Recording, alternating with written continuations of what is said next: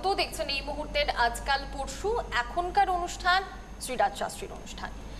আমরা অনেকেই সংগীত ভালোবাসি এবং সত্যি কথা বলতে গেলে অনেকেই বলেন যে গান পছন্দ করেন না, ফুল পছন্দ করেন না, শিশুদের পছন্দ করেন না, এমন মানুষ নাকি ভয়ঙ্কর। আমি সেই প্রসঙ্গে যাব না। আমি এই প্রসঙ্গে যাব যে দেখবেন যারা মিউজিক বোঝেন, যারা মিউজিক নিয়ে চর্চা করেন অনেকেই তো রয়েছেন যারা বাদ্যযন্ত্র শিল্পী তারের বিভিন্ন বাজনা বাজান। তো তারের বাজনা যদি সঠিক সুরে বাজে, তাহলে না সিঙ্ক্রোনাইজ করতে হয়।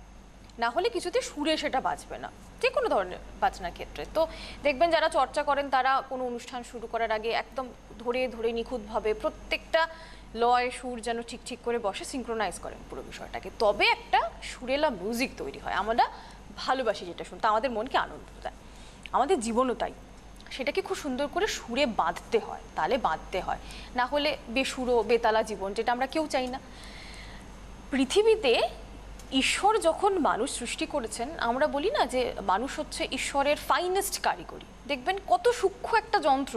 নিজের হাতের আঙুলটা পর্যন্ত দেখবেন সূক্ষ্ম একটা আঙুল, তার মধ্যেও ভাগ রয়েছে, বিভাজন রয়েছে, এক একটা আলাদা আলাদাভাবে ফাংশন করতে পারে। মনে হয় না যে এত সূক্ষ্ম যে শরীর নিয়ে আমরা পৃথিবীতে এসেছি সেটাকে এত সুন্দর করে যখন ঈশ্বর তৈরি করেছেন, আমাদের জীবনটাকেও সুন্দর করে বাঁধার জন্য সমস্তটা তিনি দিয়েছেন, আমাদের হাতের কাছেই রয়েছে। তা সত্ত্বেও এত প্রবলেম কেন? কেন সবার জীবনটা সুন্দর সুরে বাজছে না? হ্যাঁ সমস্যা আছে, নিশ্চয়ই আছে। সমস্যা আছে বলেই তো সমাধানের রাস্তা আমাদের খুঁজে নিতে হয়। কখনো সমস্যা বাস্তু থেকে আসে, কখনো সমস্যা সংখ্যা থেকে আসে, কখনো আমাদের ব্যক্তিগত ছকে যা গ্রহগত অবস্থান, সেখান থেকে সমস্যা আসতে পারে। তো এই পুরো ব্যাপারটাকে এক জায়গায় নিয়ে এসে বাঁধার কাজটা সিঙ্ক্রোনাইজেশনের কাজটা যিনি করেন, তিনি হচ্ছেন একজন অভিজ্ঞ অ্যাস্ট্রোলজার এবার যে অ্যাস্ট্রোলজারের প্রতিটি ক্ষেত্রে বিচরণ, স্বাভাবিকভাবেই তার কাছে আরও অনেক বেশি সহজ এবং অথেন্টিক হয়ে যায় পুরো কাজটা করা। এইটাই কিন্তু করেন শ্রীরাজ শাস্ত্রী। বাস্তু থেকে শুরু করে সংখ্যা পর্যন্ত প্রত্যেকটা ক্ষেত্রে তার অবাধ বিচরণ এবং আপনারা সেইভাবেই তাকে পেয়ে এসেছেন এতদিন, আগামী দিনেও পাবেন এবং যত দিন যাচ্ছে তত কিন্তু নিজেকে আরও অনেক বেশি ব্যাপ্ত করছেন শ্রীরাজদা তার প্রেডিকশন যারা বহুদিন ধরে ফলো করছেন তারা সেটা জানেন যে কীভাবে ক্রমশ নিজেকে ভাঙতে ভাঙতে আরও সূক্ষ্ম থেকে সূক্ষ্মতর জায়গায় তিনি নিজেকে আজকে নিয়ে এসেছেন। আমরা সরাসরি অনুষ্ঠানে পেয়ে গেছি শ্রীরাজদাকে অনেক স্বাগত দাদা আপনার অনুষ্ঠানে। নমস্কার। একটু আগে জিজ্ঞেস করছিলাম আমি শ্রীরাজদাকে যে শ্রীরাজদা কী বিষয় নিয়ে আমরা আজকে আলোচনা করব? তো তিনি বললেন যে দেখো একদম এই সময় যেটা হতে চলছে বৃহস্পতি কুম্ভ রাশিতে প্রবেশ করবে। তো এটা নিয়ে যদি আমরা দর্শক বন্ধুদেরকে কিছু বলি শ্রীরাজদা দর্শক বন্ধুরা আমি আপনাদেরকে আগেও জ্ঞাত করেছিলাম যে আমাদের জন্মকুণ্ডলী অনুযায়ী জোডিয়াক অনুযায়ী এবং আমাদের যদি কালপুরুষের রাশিচক্র দেখা হয় সেই অনুযায়ী একাদশ ভাব হল কুম্ভ রাশি। এবং এই কুম্ভ রাশিতে বৃহস্পতির প্রবেশ আগামী একুশে নভেম্বর। এই উক্ত দিনের পর থেকে কুম্ভ রাশিতে এই বৃহস্পতির প্রবেশের ফলে একটা আমূল পরিবর্তন কিন্তু আমরা দেখতে পাবো। সেটা সব রাশির ক্ষেত্রে কিন্তু প্রযোজ্য।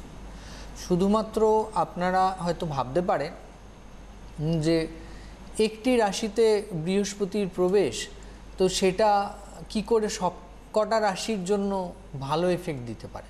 বাকি এগারোটা রাশি তো নয় একটি রাশিতে তো এক্স্যাক্টলি কিন্তু দর্শক বন্ধুরা কথায় হয়তো আপনারা শুনেছেন অনেকেই যে একাদশে বৃহস্পতি। হ্যাঁ এটা বলে কিন্তু। একাদশে বৃহস্পতি। একাদশে বৃহস্পতি থাকা মানেই আপনার অ্যাচিভমেন্ট আপনার টার্গেট ফুলফিল মানে এই যে একাদশে বৃহস্পতি বলা হয় তার মানে কি সেটা কুম্ভে বৃহস্পতি? না সেটা নয়। জন্মকুণ্ডলী অনুযায়ী লগ্ন আচ্ছা, সাপেক্ষে সাপেক্ষে। সেটা বিচার্য। বেশ। কিন্তু যাদের একাদশে বৃহস্পতি অবস্থান করে তাদের ভাগ্য বিড়ম্বনা আসলেও খুব চটজলদি সেখান থেকে তারা বেরিয়ে আসতে পারে। বেশ।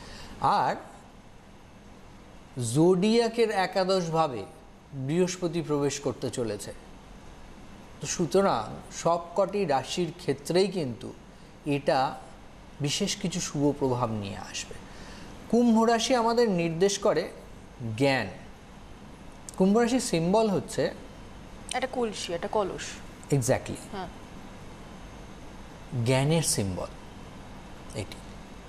এবং আপনি যেটা চাইছেন, সেই ভাণ্ডার সেই ভাণ্ডার এটি। তো আপনার টার্গেট অ্যাচিভ করবার জন্য এই সময়টা সবথেকে উপযোগী সময়।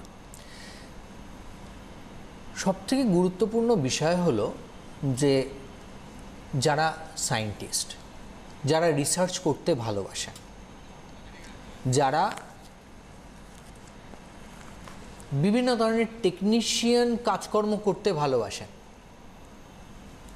যারা বিভিন্ন ধরনের অনেক চেষ্টা করেও কাজকর্মের দিক থেকে সুরাহা পাচ্ছিলেন না। তো তাদের দিক থেকে শুভ সময়। যদি আপনার দশা অন্তর্দশা খারাপ যায়, তাহলে কিন্তু কিছু করার নেই।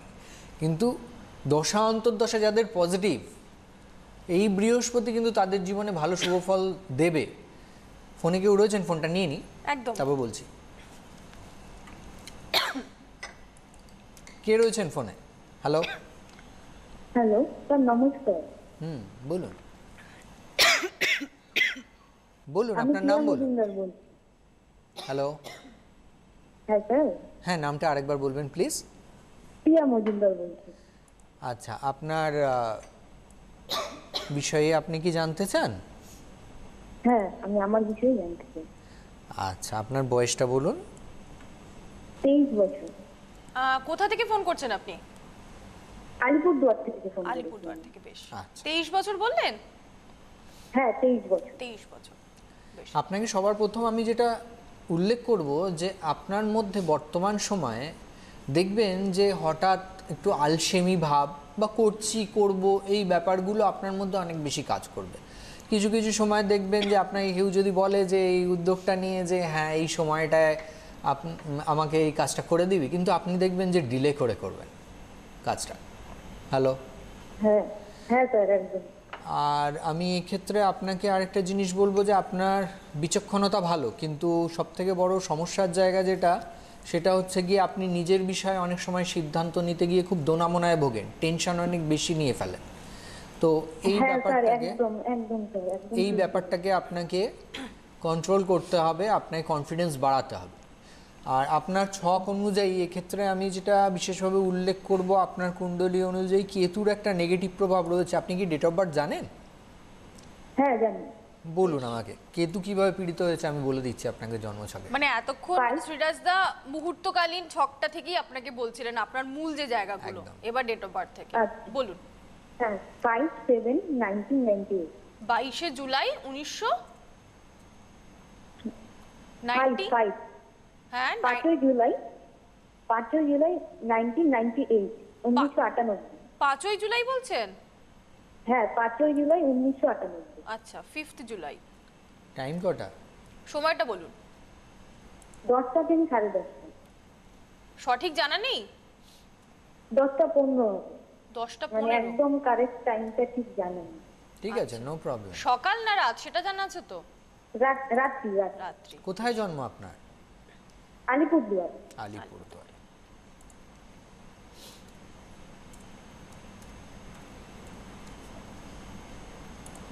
আচ্ছা জন্ম ছক অনুযায়ী আপনার জন্ম বার ছিল হচ্ছে রবিবার তাই তো? হ্যাঁ লগ্ন হলো কুম্ভ এবং রাশি হলো বৃশ্চিক। আপনার বিশাখা নক্ষত্রের চতুর্থ চরণে জন্ম হয়েছে ব্রাহ্মণ বর্ণ রাক্ষসগণ। আপনার জন্মকুণ্ডলী অনুযায়ী আমি আপনাকে উল্লেখ করছিলাম যে আপনার কেতুর একটা নেগেটিভ প্রভাব রয়েছে। লগ্নে কেতু বসে রয়েছে। সপ্তমে রাহু। লগ্নে কেতু কিন্তু শুভ ফল দেয় না বিশেষ করে রিলেশনশিপের দিক থেকে। খুব সমস্যা নিয়ে আসে। এবং এই ছক হ্যাঁ। অনুযায়ী হ্যাঁ আপনি কিছু বলতে চান? হ্যাঁ স্যার আমি খুবই সমস্যায় আছি আমার ম্যারেজ লাইফ নিয়ে সমস্যা আছে। ইভেন আমি এখন চেষ্টা করছি যে আমি কিছু কাজ করার হ্যাঁ তো আমি জানতে চাই আমার কেরিয়ারের ব্যাপারটা আর আমার ম্যারেজ লাইফ কি ঠিক হবে কি হবে না? দেখুন সব থেকে বড় বিষয় হলো গিয়ে আপনার- আপনার লগ্নে কেতু এবং দ্বিতীয় বৃহস্পতি নিজের ঘরে বসে রয়েছে। আপনার অর্থভাগ্য ভালো আপনি কর্মগত দিক থেকে ভালোভাবে প্রচেষ্টা করুন কিন্তু সমস্যার জায়গা এটা যে আপনার শুক্র এবং চন্দ্র দৃষ্ট রয়েছে কিন্তু আপনার জন্মকুণ্ডলীর মধ্যে চন্দ্রের দুপাশে কোনো গ্রহ নেই। বৃহস্পতির দৃষ্টি আপনার চন্দ্রের উপরে গিয়ে পড়ছে। আপনি অনেক সময় নিজেকে খুব ভরসাহীন মনে করেন, আপনাকে কেউ ভালোবাসে না, এটা ভাবেন।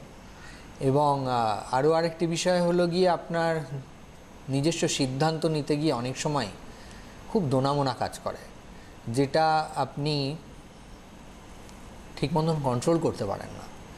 আপনার পারিবারিক দিক থেকে বলুন বা আপনার যারা ভালোবাসার লোকজন বলুন তাদের সকলের কাছ থেকেই কম বেশি আঘাত আপনি পেয়েছেন। তো আপনার ছক অনুযায়ী এক্ষেত্রে আমি যেটা বলব যে ইমিডিয়েট আপনি কেতুর নেগেটিভ প্রভাবটা কাটিয়ে উঠুন তার কারণ রাহু এবং কেতু একটি চন্দ্রভঙ্গ কালসর্পযোগ আপনার জন্মকুণ্ডলীর মধ্যে সৃষ্টি করেছে। এবং কেতু আপনার যার নক্ষত্রে অবস্থান করছে সে হলো রাহু। এবং আপনার জন্মকুণ্ডলী অনুযায়ী রাহু তো অবস্থান করছে সপ্তমে। তো সুতরাং বিবাহ আপনার অপোনেন্ট অপোনেন্ট মানে কিন্তু শুধু পার্টনার এরকম নয় কিন্তু, আপনার সাথে যিনি কথা বলছেন তিনিও। তো সপ্তমে রাহু থাকলে কি হয়, অনেক সময় আপনি যার সাথে কথা বলছেন, তিনিও হয়তো এমনভাবে রিয়্যাক্ট করতে পারেন আর আপনি হঠাৎ করে এমনভাবে অ্যাগ্রেসিভ হতে পারেন, যেটা হয়তো ঈশ্বরই জানেন শুধুমাত্র। তো এটার জন্য আমি আপনাকে অবশ্যই বলব যে সঠিকভাবে কেতুর গ্রহ প্রতিকার করাটা দরকার। কেতু রিপ্রেজেন্ট করছে আপনার এই জন্মকুণ্ডলী অনুযায়ী একদিক থেকে রাহুকে এবং আরেক দিক থেকে শনিকে। শনি আপনার জন্মকুণ্ডলীর মধ্যে নিচস্থ রয়েছে। শনি তৃতীয়ভাবে রয়েছে। আচ্ছা। তো সুতরাং আমি শুধু একটা জিনিস জানতে চাই। যে আমার কি কোনো মানে কর্মক্ষেত্রে মানে আমার কোনো কাজ হবে কি? আমি চেষ্টা করছি কাজের জন্য আপনার। বৃহস্পতি ধনস্থানে বসে রয়েছে অর্থ কারক গ্রহ ধনস্থানে বসে রয়েছে। কিন্তু আপনার জন্মকুণ্ডলীর মধ্যে একাদশপতি হয়েও বৃহস্পতি নিজের ঘরে বসে থাকার সত্ত্বেও আপনার দশম ভাবটা দুর্বল হয়ে গেছে। দশম ভাবটাকে একটু অ্যাক্টিভেট করতে হবে। দশম ভাবটা কর্মস্থানটা একটু অ্যাক্টিভেট করলে মানে- কাজ হয়ে যাবে আপনার। আপনি ঠিক করি তাহলে মানে আমি কাজ করতে পারব তাই তো? হান্ড্রেড পার্সেন্ট কাজ করতে পারবেন। এবং আমি আপনাকে দায়িত্ব নিয়ে বলতে পারি সঠিকভাবে কেতুর প্রতিকার করুন আপনি অনেক রিলিফ পাবেন।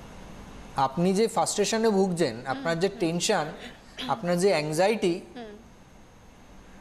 you should try this way আমি এতটুকু বলতে পারি কেন কি আপনার ছক যা আছে আপনার ছক অনুযায়ী সঠিকভাবে কেতুর প্রতিকার আপনাকে অনেক ভালো ডেভেলপমেন্ট দিতে পারে। আপনার নজর লাগে অনেক তাড়াতাড়ি। ঠিক আছে? আপনি ইমিডিয়েট একটু ভালো জ্যোতিষীর সাথে কনসাল্ট করুন ভালো অনেক অনেক ধন্যবাদ আপনাকে ফোন করার জন্য। আপনি যখন ফোন করেছিলেন তখন ফোন করার পর আপনার বয়স শুনে আপনার সম্বন্ধে যে মুহূর্ত কুণ্ডলী গণনা করেছিলেন শ্রীরাজদা প্রথমে কিন্তু তিনি বলেছিলেন যে কেতু আপনাকে নেগেটিভ প্রভাব দিচ্ছে এবং সেটা আপনার ডেট অফ বার্থের মাধ্যমে আপনার যে ব্যক্তিগত ছক সেই জন্মছকের মাধ্যমে তিনি দেখাবেন এবং বাস্তবে সেটাই ঘটেছে। লগ্নে কেতু বসে আছে এবং যার জন্য আপনার রিলেশনশিপের জায়গাটাতে এত ক্রাইসিস আপনি এত ডিপ্রেশনের মধ্যে রয়েছেন, নিজেকে একা ফিল করছেন, সিদ্ধান্তহীনতায় ভুগছেন, কাজের জায়গাটাও ঠিক করতে পারছেন না। মানে এটা কিন্তু একেবারে প্রমাণ করে যে মুহূর্ত কুণ্ডলীর সাহায্যে যে গণনা, সেই গণনা কিন্তু ব্যক্তিগত ছকের সাথে পুরোপুরি মিলিয়ে দেওয়া সম্ভব এবং সেটা এখন শ্রীরাজদা এইভাবেই প্রেডিকশন করেন আপনারা, সেটা জানেন। তো এই যে একুশ তারিখ, আগামী একুশে নভেম্বর বৃহস্পতি কুম্ভ রাশিতে প্রবেশ করবে, সেই ফল যদি আপনাদেরকে পেতে হয়, শুভ ফল যদি লাভ করতে হয়, তাহলে কি করবেন? সুযোগ আছে আপনাদের কাছে? এক, যদি মনে করেন যে হ্যাঁ শ্রীরাজ শাস্ত্রী সেই মানুষ, যার কাছে আমরা যোগাযোগ করতে চাই, যেতে চাই, আপনাদেরকে স্বাগত, চেম্বার রয়েছে। সামনে আমি বলব, আগামীকাল গড়িয়াহাটে চেম্বার করবেন শ্রীরাজদা। অনেকেই ইতিমধ্যে অ্যাপয়েন্টমেন্ট নিয়ে রেখেছেন, যারা নিয়ে রেখেছেন তারা তো আসবেনই। যারা এখনও চাইছেন যোগাযোগ করতে, একটু চেষ্টা করে নিন। বুকিং নাম্বারে ফোন করে জেনে নিন স্ট্যাটাস কী রয়েছে। আপনারা সুযোগ পেতে পারেন কি পারেন না। আগামী শনিবার শিথির মোড়ে চেম্বার রয়েছে। সেখানেও আমি বলব আপনারা যোগাযোগ করে নিতে পারেন। আর মেদিনীপুরে আগামী উনিশ তারিখে কিন্তু চেম্বার। এই মাসেরই উনিশ তারিখে চেম্বার মেদিনীপুরে। অনেকেই মানে পুজোর পর থেকে তো বোধহয় মেদিনীপুর প্রথম চেম্বার তাই না শ্রেয়াস দা? অনেকদিন পর। তার মানে এর আগে আপনারা বেশ কিছুদিন মিস করেছেন অনেকে দেখাতে চেয়েছেন যোগাযোগ করতে চেয়েছেন সুযোগ পাচ্ছিলেন না। উনিশ তারিখ মেদিনীপুরে চেম্বার রয়েছে একবার অবশ্যই আগাম বুকিং করে নিতে পারেন। আর আপনারা তো জানেন যে হোয়াটসঅ্যাপে বুকিং করা সম্ভব অনলাইন কনসালটেশন সম্ভব। আর নভেম্বর মাসটা যেহেতু শ্রীরাজ তার কাছে একটা দুঃখের মাস পিতৃবিয়োগ হয়েছিল তার। তো সেই জন্য তিনি কিন্তু আপনাদের জন্যই মানে এক একজন তো তাদের শোকের জায়গাটাকে এক একভাবে এক্সপ্রেস করেন? তো শ্রীরাজদা মনে করেছেন যে মানুষকে পরিষেবা দেওয়া তার থেকে ভালো কিছু হতে পারে না। তিনি সেই পথটাই বেছে নিয়েছেন। তিনি এমনিতেই মানুষের জন্য কাজ করেন। যারা অ্যাস্ট্রোলজার তারা এমনিতেই যোগ যুক্ত হন তারা মানুষের জন্যই কাজ করেন। সেখানেও তিনি কাজ করেছেন। কাজও আমি করেছি। হ্যাঁ। কিন্তু আমি সবসময় চেষ্টা করি যাতে আপনারা ভালো থাকেন এবং আমার মন থেকে এটাই কাম্য যে আপনারা যাতে গ্রহদোষ ত্রুটি কাটিয়ে উঠতে পারেন ফোনে কেউ রয়েছেন? ফোনটা নিয়ে একদম একদম ফোনে রয়েছেন। আপনারা যাতে গ্রহ দোষ ত্রুটি কাটিয়ে উঠতে পারেন এবং সেক্ষেত্রেও যেন খানিকটা রিলিফ পান সেই সুযোগটা কিন্তু এই নভেম্বর মাসে আপনারা বুকিং করলে পেয়ে যাবেন। কে রয়েছেন আমাদের সঙ্গে? নমস্কার। হ্যাঁ নমস্কার। আমার নাম অপর্ণা বণিক। অপর্ণাদি কোথা থেকে ফোন করছেন? টালিগঞ্জ থেকে। কার সম্বন্ধে জানবেন? নিজের সম্বন্ধে জানতে চাই। কেমন লাগে বলুন শ্রীরাজ তার অনুষ্ঠান? দেখেন আপনি নিয়মিত? হ্যাঁ হ্যাঁ। ভালো লাগে। আমি আগেও করেছিলাম লাইন কেটে গেছিল আমার। আমি কথা বলতে পারিনি। আচ্ছা। যাক আজকে নিশ্চয়ই কথা বলতে পারবেন। হ্যাঁ। আচ্ছা আপনার বয়সটা শুনব প্রথমে। আমার বয়স হচ্ছে থার্টি থ্রি তেত্রিশ বছর। থার্টি থ্রি তাই তো? হ্যাঁ নাইনটিন এইটটি এইটে জন্ম আমার। ঠিক ঠিক আছে ঠিক আছে। তারিখ বলতে হবে না এখন। আচ্ছা উম, আমি সবার প্রথম আপনাকে যেটা উল্লেখ করব যে আপনি আপনার ব্যক্তিগত জীবনে অনেক ঘাত প্রতিঘাত সম্মুখীন হয়েছেন এবং অনেক ঘাত প্রতিঘাতের সম্মুখীন হওয়ার সত্ত্বেও অনেক ঝুটঝামেলা হঠাৎ উটকো ঝুটঝামেলা আপনার জীবনে এসছে, যেটা আপনি ডিজার্ভ করেন না। কিন্তু তবুও আপনি সারভাইভ করে, লড়াই করে এগিয়ে চলেছেন। আর আপনার মধ্যে সবথেকে বড় একটা গুণ হচ্ছে যে আপনি নিজেকে কিছু কিছু সময় একলা রেখে নিজেকে মোটিভেট করেন একদম ঠিক বলেছেন দাদা মানে উনি নিজেই নিজেকে মোটিভেট করেন একা রেখে? ঠিক বললাম তো কথাটা?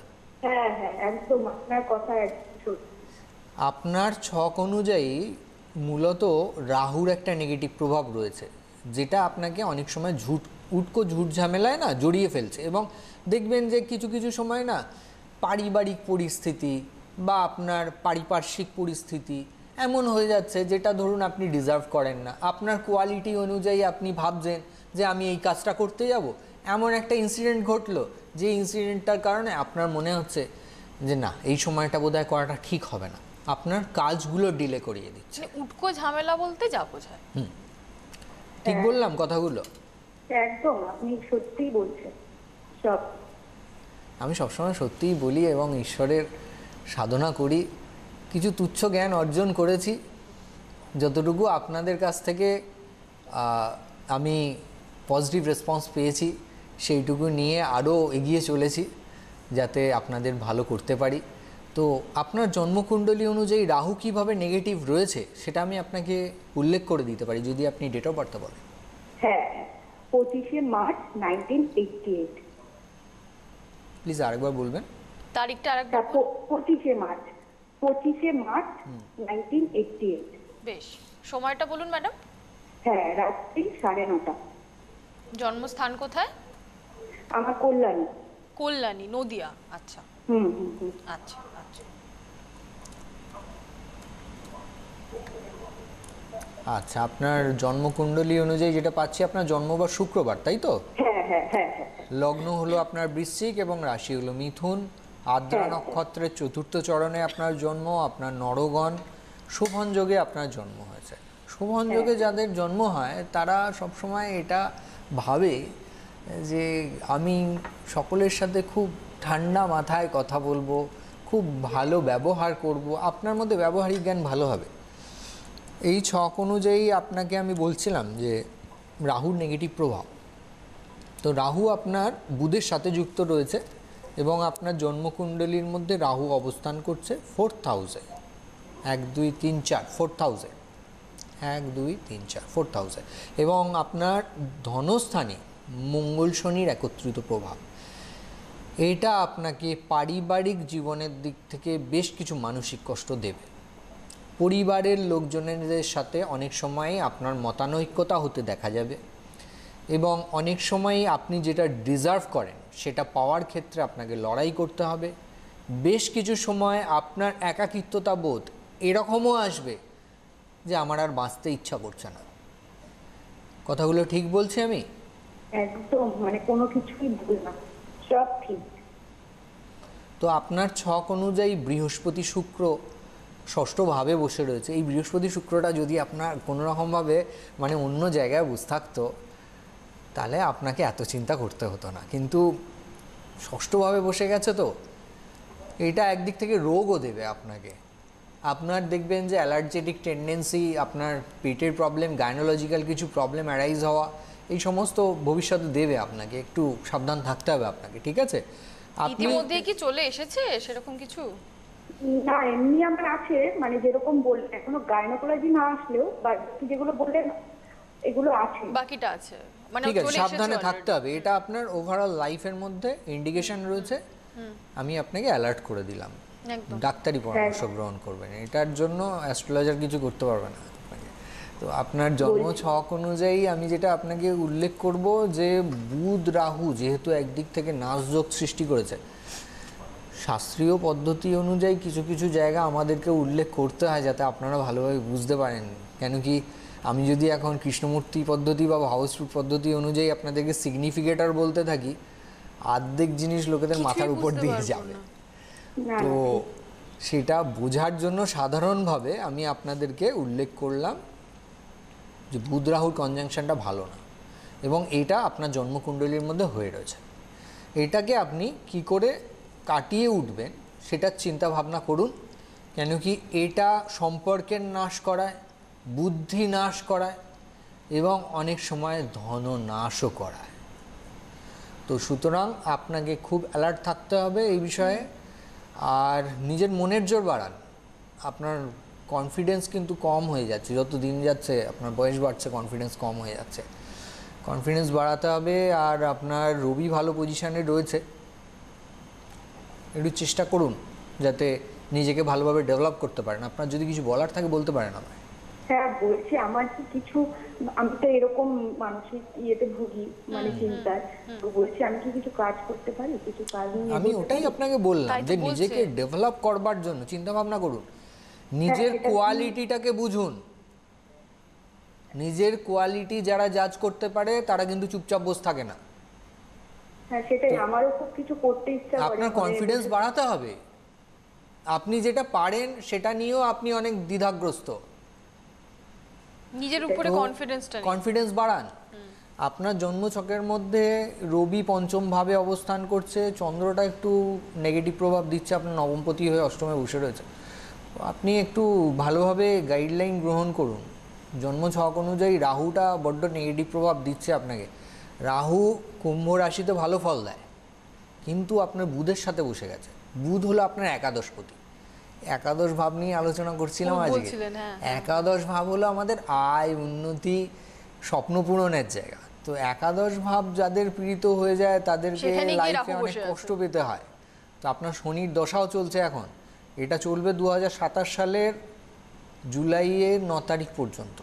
লম্বা সময় লম্বা সময়। চেষ্টা করতে হবে ভালো করার। এবং এটা ভালো গুরুর সান্নিধ্য বা ভালো অ্যাস্ট্রোলজারের সান্নিধ্য ছাড়া সম্ভব নয়। ভালো মানুষ খুঁজুন যাকে আপনার ভালো লাগে সেরকম মানুষের গাইডলাইন ধন্যবাদ দেবো আপনাকে। মানে আপনার ক্ষেত্রটাই সত্যিই তাই যখন আপনার ক্ষেত্রতেও কথা বলছিলেন শ্রীরাজদা এটাই বলেছিলেন যে আপনার ক্ষেত্রে নেগেটিভ এফেক্টটা দিচ্ছে রাহু এবং সেটা দেখা গেল রাহু এখানে বুধের সঙ্গে যুক্ত হয়ে বসে রয়েছে। আপনার বুদ্ধিটাও নষ্ট করছে আপনার কনফিডেন্সটাকে কমিয়ে দিচ্ছে আপনার সঠিক সিদ্ধান্ত নেওয়ার ক্ষমতাটাকে কমিয়ে দিচ্ছে। পরিবারে আপনি কোণঠাসা হয়ে যাচ্ছেন, একাকিত্বে ভুগছেন, সব মিলিয়ে এমন একটা পরিস্থিতি যেটা আপনাকে মানসিকভাবে ভালো রাখতে পারছে না। আপনি ভালো নেই, কিন্তু সেটা কেন হবে? নিশ্চয়ই না। অভিজ্ঞ মানুষ, তার সংস্পর্শে আসুন সমস্যা থেকে বেরিয়ে আসুন। এটাই চান শ্রীরাজ শাস্ত্রী এবং তার জন্যই কিন্তু আপনাদের জন্য চেম্বারও ওপেন রয়েছে। আমি আরেকবার মনে করিয়ে দেবো, আগামীকাল গড়িয়াহাটে আপনারা যারা চাইছেন তারা আসতে পারেন। আগামী শনিবার শিথির মোড়ে থাকছে চেম্বার আর মেদিনীপুরে যে উনিশে নভেম্বরের চেম্বার সেটা কিন্তু মিস করবেন না। উনিশে নভেম্বর মেদিনীপুরে আপনাদের জন্য সময় দিচ্ছেন শ্রীরাজ শাস্ত্রী।